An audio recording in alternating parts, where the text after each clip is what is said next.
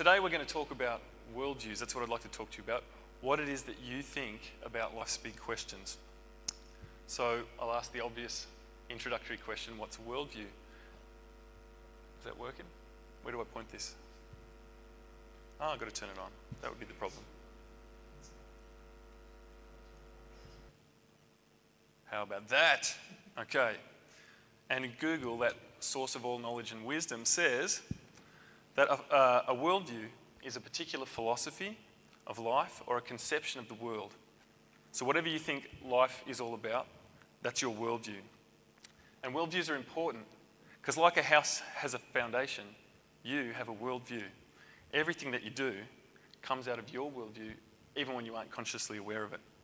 What you think determines what you do and where you go in life. And so, if your thinking is based on truth about life and the universe and reality and what that all is, um, then you're going to spend your life well. But if you misunderstand the nature of reality uh, and what life is, you might live it the wrong way and you might regret it. You might feel like you've wasted your life. So, we need to examine our foundations. We need to know whether our worldview corresponds with reality we need to know if what we believe about the universe and life and God is true. So today I want to uh, compare for you two different competing worldviews, two different accounts of reality that both claim to be true. And the first one is called the philosophy of naturalism. Naturalism is the view that only natural laws and forces operate in the world. So it begins with an assumption that there are only natural things and absolutely nothing supernatural. Carl Sagan, the um, famous astronomer, said that the cosmos is all there is, all that is or was or ever will be. In other words, only the universe and the things that it's made out of exist.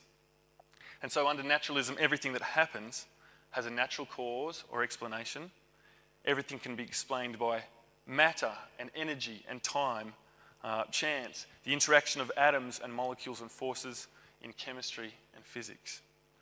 And in this view, there are no immaterial realities, no spirits, good or evil, uh, no souls in the human person.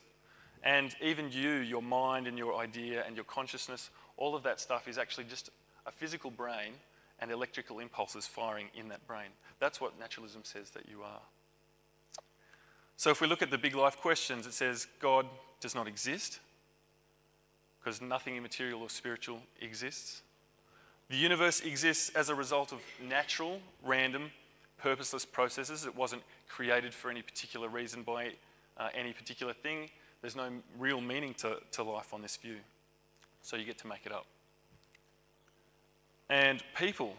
People are interesting biological organisms, um, but really, there's nothing that valuable or special about us. We're just robots made out of meat. In fact, Francis Crick, who discovered the DNA molecule, he said, You, your joys and your sorrows, your memories and your ambitions, your sense of personal identity and free will are in fact no more than the behaviour of a vast assembly of nerve cells and their associated molecules. You're just a biological machine on this view. And the last bit, which I think we're probably familiar with, on the big question about religion, naturalism says that all religion is pre scientific, man made mythology. And it has this attitude associated with it. If you believe that stuff, you're stupid. Who's come across that attitude before? If you believe this religion stuff, you're stupid. I want to talk about naturalism with you today and Christianity, obviously, because I'm passionate about the gospel, the message of uh, salvation in Jesus Christ. I think it's the most important message that I could talk with you about. But it's this view of naturalism that forms an enormous roadblock uh, to the advance of the gospel by saying that there is no God, there's just nature. So, this view stops people from uh, reading the Bible or even taking Christianity seriously as a viable worldview. And so, the people that we want to reach for Jesus Christ, uh, some of them either believe this view of naturalism or they're impacted by it in some way and they aren't ready to hear the gospel. If you don't think that there's such a thing as a God or a spiritual reality, why would you listen to someone wanting to talk to you about it? So we might need to be able to disrupt their confidence in their worldview if we're going to be able to share the, the gospel with them. So I think we have a responsibility to know, to know about this if we want to reach our culture for Christ. The other reason I want to talk about this with you is that young people, often when they get to the age uh, they're attending university, that's the time that they're most likely to leave the church and to leave Christianity and lose their faith. And often, this view of naturalism is the reason that they give. Naturalism has an influence on politics, on education, what it is that you're taught in schools, and all sorts of the, all, all various forms of media. And together, these give, uh, they form a, a narrative that Christi- Christianity is stupid and it's unscientific and it's dangerous. And so our young people, they read lots of negative pushback against Christianity and they, um, they read bad internet arguments. And then they get to church, and the people in their church usually aren't very well prepared to handle those arguments. And they say really nice things to them, really well meaning things like, just read your Bible, just have faith, just believe. And it forms within young people this idea that maybe Christianity isn't robust enough a worldview for me to hang my hat on. Maybe it can't answer these questions. And so they leave.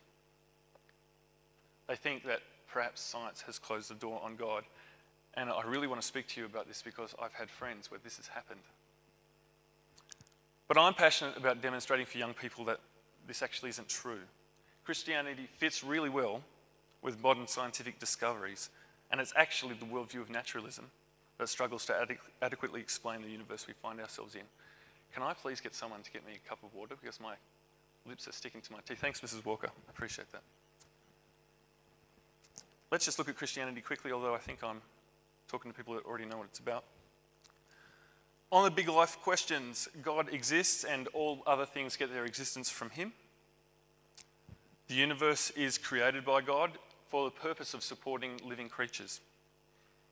People are important, they're very important because they're created in the image of God. And we're not just these biological robots, but we, are, um, we have a spiritual side to us as well, uh, an, an immaterial soul that lives within inside us, and it lives on after our body dies.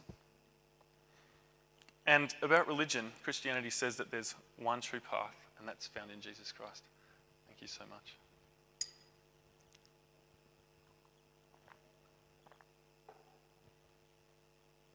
Great, water's amazing. Now, if we look at these views side by side, our common sense should lead us to a, a conclusion. And that's that both of these views can't be true at the same time because they contradict one another. We've got this rule of human thought called the law of non contradiction, and using that kind of logic, we can understand that it's impossible for God to exist and not exist at the same time. So one of these views has to be false. But how do we decide between them?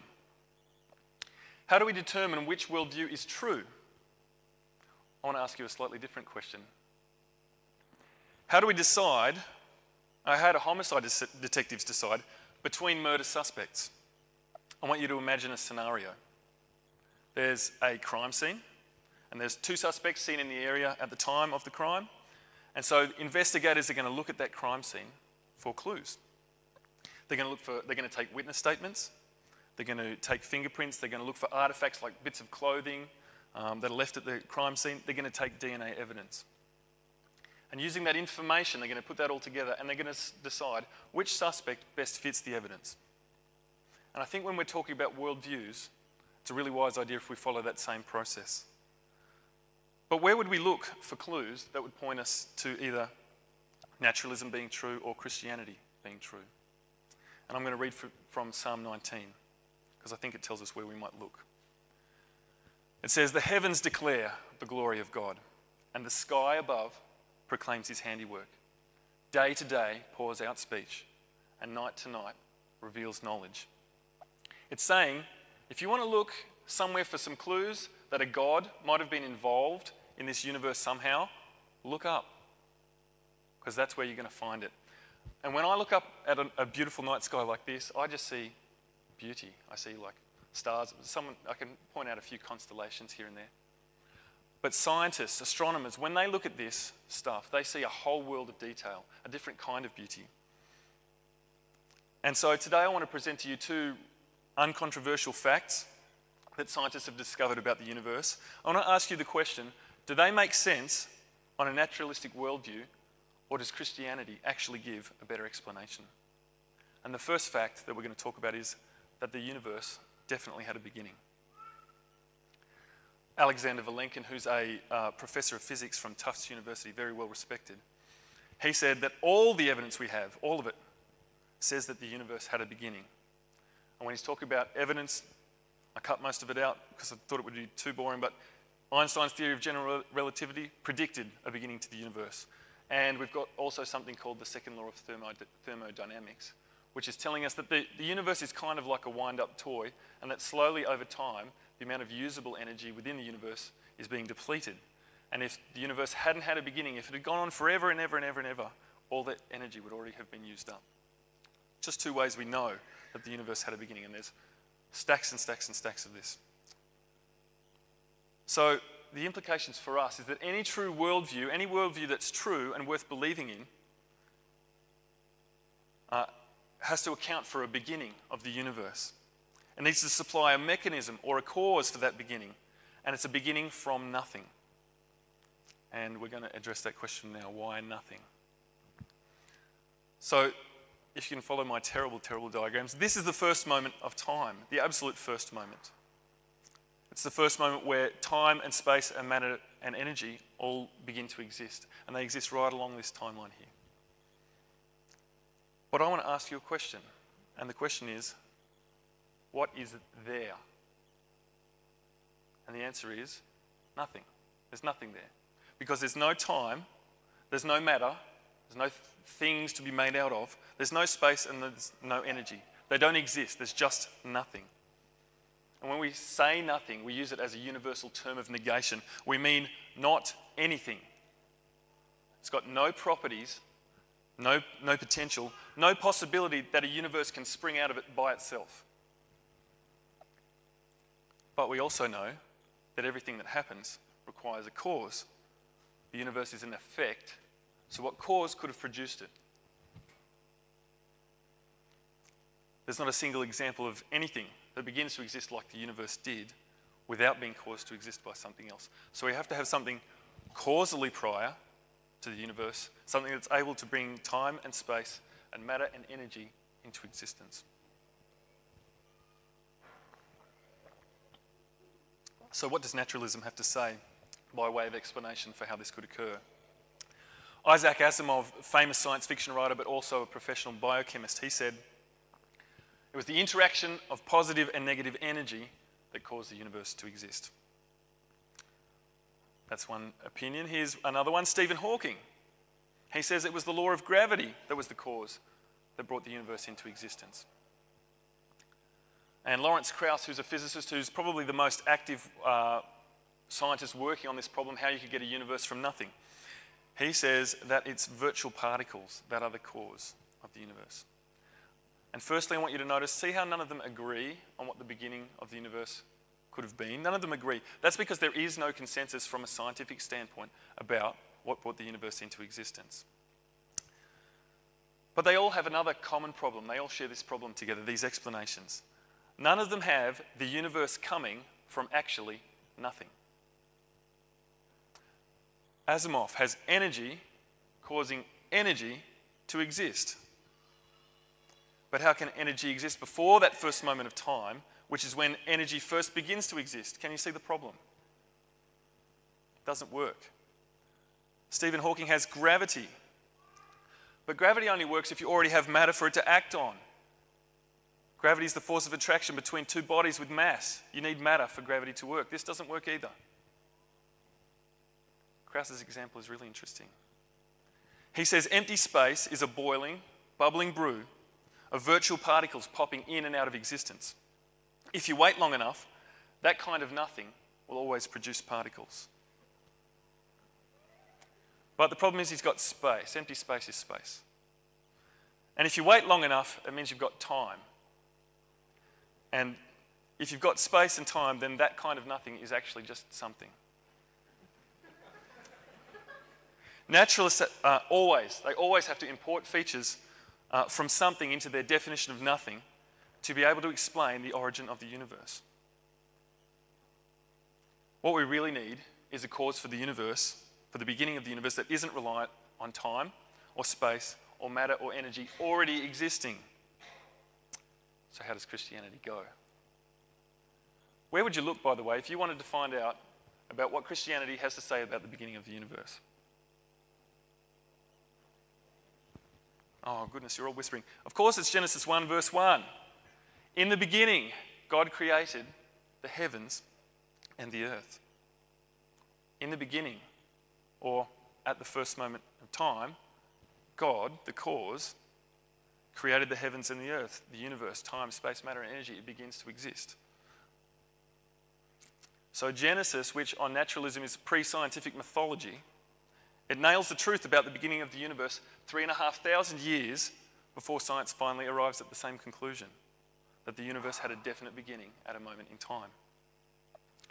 Dr. Robert Jastrow, who at one time was the chairman of NASA's Lunar Exploration Committee, he said, For the scientist who's lived by his, uh, by his faith in the power of reason, the story ends like a bad dream. He's scaled the mountain of ignorance. He's about to conquer the highest peak. As he pulls himself over the final rock, he's greeted by a, theolo- by a band of theologians who've been sitting there for centuries. Can you feel his disappointment? Okay, and is, is that just a coincidence? Did the, did the Bible just get it lucky? Genesis also suggests a first cause that could produce that universe effect. It says, God created the universe. But I can hear an objection. I've never heard one in that form before, though. Objection by sneezing. Okay, and the objection is not a sneeze, it is that God is not nothing. How come you can have God, uh, you can have God as a pre existing first cause of the universe, but you can't have pre existing gravity or energies or virtual particles? And that's because natural explanations require part of nature to already exist in order to produce nature. What we need is an explanation outside of nature, something that transcends the physical universe.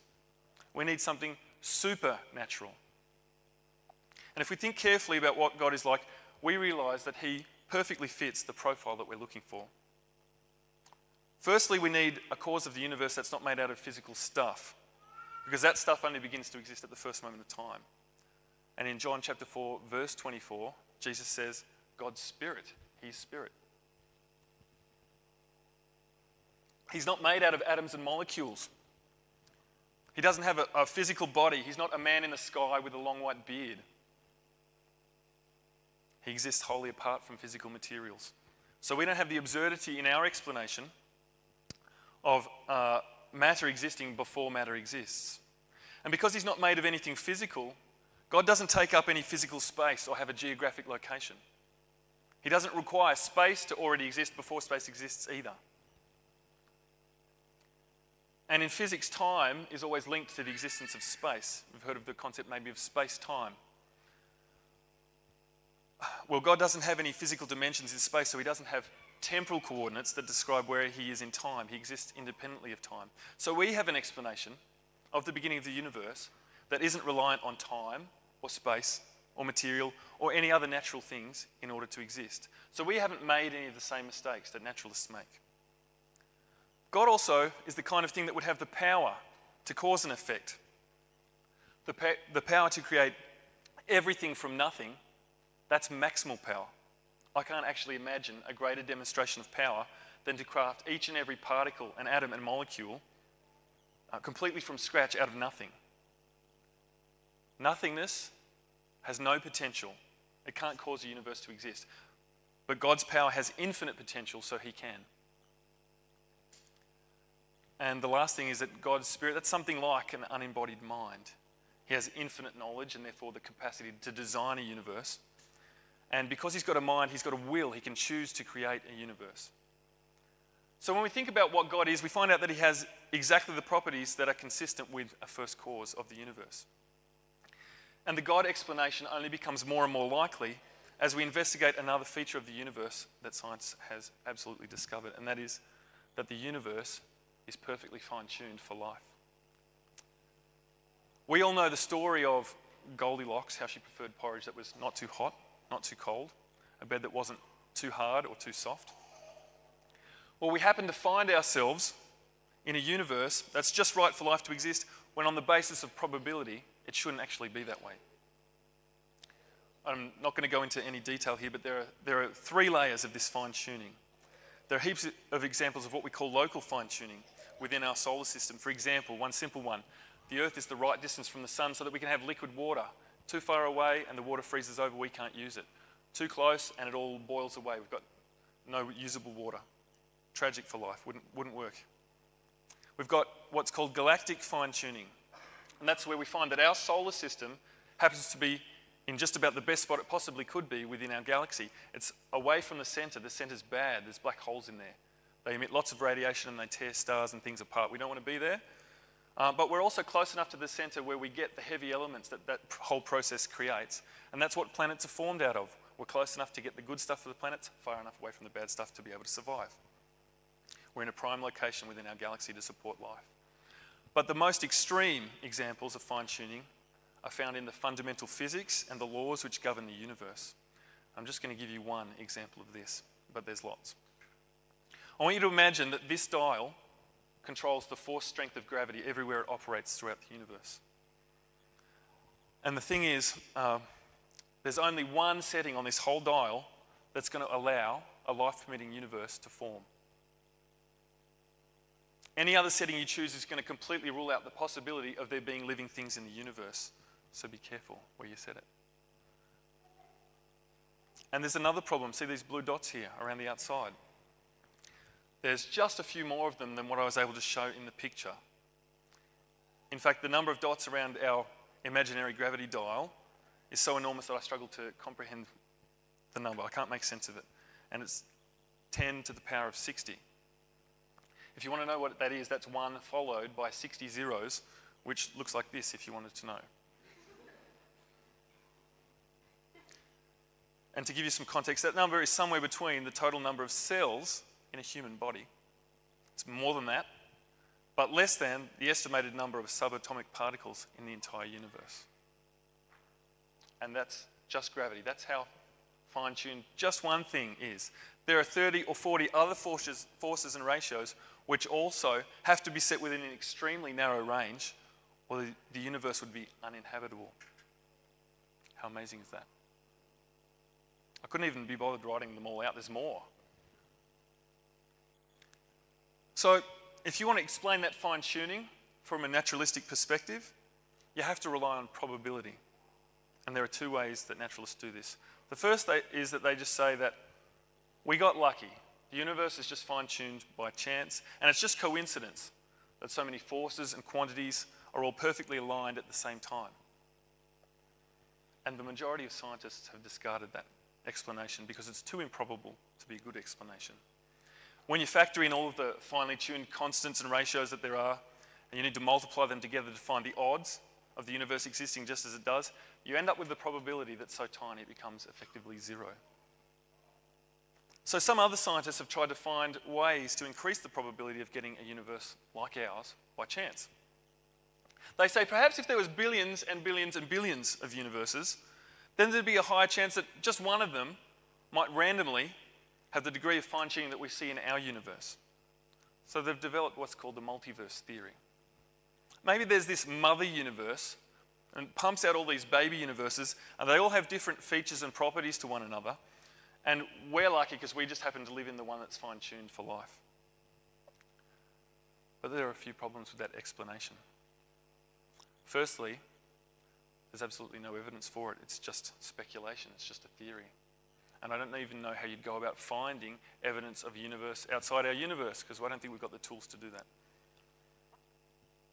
Secondly, and this is pretty damning, the multiverse still needs to have a beginning. Scientists have figured this out. It has to have a beginning. So this theory is asking us not only to believe that our universe came into existence for no particular purpose, but that a universe generator that births all these other billions of universe, universes also came into existence from nothing and for no particular purpose. It seems to multiply problems rather than solve them. And it also turns out that a mother universe would itself have to be finely tuned in order to be, be able to produce the variety of baby universes that would even give us the chance that just one might be able to be lived in. So naturalism fails to adequately explain how or why the fundamental properties of our universe are tuned so delicately for life. What does Christianity say? What's our message about this? Fine tuning. We think that the best explanation for fine tuning is that someone fine tuned the universe, that God tuned the universe perfectly for life. Isaiah chapter 45, verse 18. He who created the heavens, he is God. He who fashioned and made the earth, he founded it. He did not create it to be empty. Paul Davies, who's a respected physicist who works at Arizona State University, he says, There is for me powerful evidence that there is something going on behind it all. It seems as though somebody has fine tuned nature's numbers to make the universe. The impression of design is overwhelming. And then there's this from Fred Hoyle, an astrophysicist. A common sense interpretation of the fact suggests that a super intellect has monkeyed with physics, as well as with chemistry and biology, and that there are no blind forces, like chance, worth speaking about in nature. The numbers one calculates from the facts seem to me so overwhelming as to put this conclusion almost beyond question.